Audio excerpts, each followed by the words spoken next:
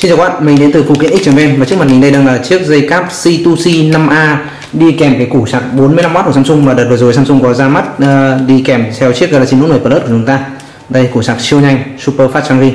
Nó có thể sạc rất là nhanh chỉ khoảng tầm một tiếng là đã đầy từ 0 đến 100% pin cho chiếc Note 10 Plus rồi.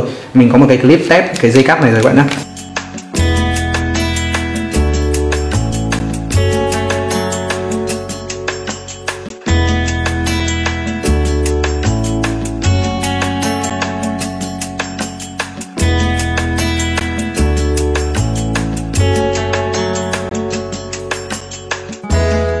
Và nếu ai đã có củ sạc hoặc là nếu ai làm mất dây cáp thì bạn có thể dễ dàng mua hàng tại phụ kiện x.vn để mua hàng chính hãng 100 trăm đây chính là dây cáp của chúng ta.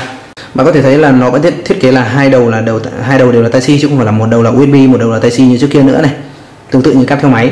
Và cái điều đầu tiên nó đập vào mắt chúng ta đó là cái dây cáp nó rất là to. Đây đối với cái dây theo máy của nút 10 thì dây nó bé hơn. Dây ờ, của cái củ 45W này thì nó to hơn. Chính xác dây 5A này nó dây to tương đối nhiều đây và nó đúc nguyên khối. Này, mọi chi tiết đều là rất là ok.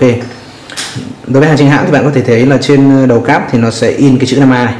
Chính xác là hàng nhái thì nó cũng sẽ làm được thôi, nhưng mà đây là đối với cáp nam a thì nó sẽ in như thế này. Và đối với hàng chính hãng thì cả hai đầu đều, nó đều in chữ nam a như này.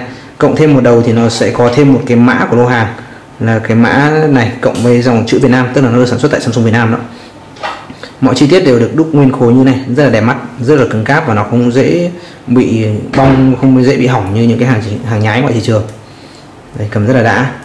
Và để mua hàng chính hãng thì bạn có thể truy cập vào web phụ kiện x.vn hoặc là comment số điện thoại và địa chỉ ngay dưới phần bình luận. Chúng tôi có đầy đủ link đến Lazada, Shopee để mua hàng một cách dễ dàng nhất. Cảm ơn các bạn đã xem video và hẹn gặp lại trong những video tiếp theo.